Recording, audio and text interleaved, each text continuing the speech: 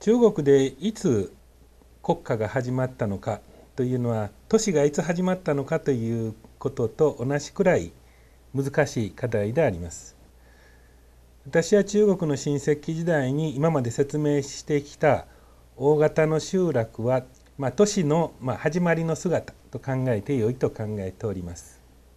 ただ国家というのはまた別の原理で、えー、考えなくてはならないものであり